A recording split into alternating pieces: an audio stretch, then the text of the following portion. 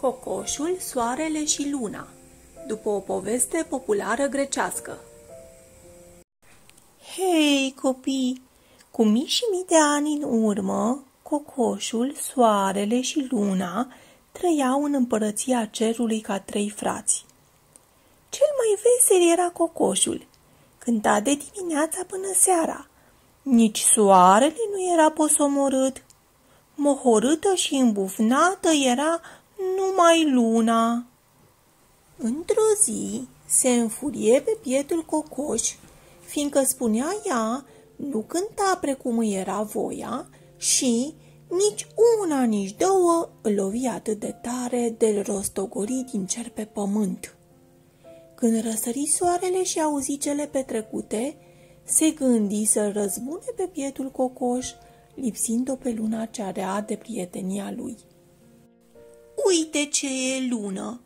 Tu care ești urăcioasă, neliniștită și nemulțumită și pentru un fleac l-ai alungat pe veselul cocoș de lângă noi, stricându-ne prietenia. Să știi că nici cu mine nu vei mai trăi alături de azi încolo, strigă soarele. Îmi pare rău, începu luna a se tângui. Recunosc că am fost prea aspră, dar acum ce să fac? Pe el l-am pierdut dar tu veșnic strălucitor de căldură și bunătate, cu sufletul tău de aur, nu mă pedepsi lipsindu-mă de lumina ta mult mai strălucitoare și mai caldă decât a mea.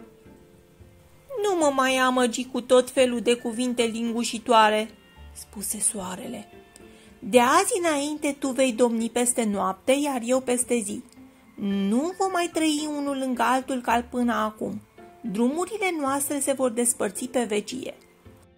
Și cocoșul va ști aceasta și va cânta de bucurie și va bate din aripi odată cu sosirea mea în zori și se va ascunde apoi în grabă la venirea ta. Și luna a amuțit și s-a întristat tare că și-a pierdut pe cei doi prieteni deodată, dar așa a rămas de atunci și până astăzi. Hei, dragii noștri! Și de atunci cocoșul, de câte ori simte apropierea soarelui, trâmpițează zorile, iar când presimte apropierea lunii, nu mai știe cum să se ascundă mai repede în culcuș. Pe curând, dragii noștri, vă dorim o zi bună!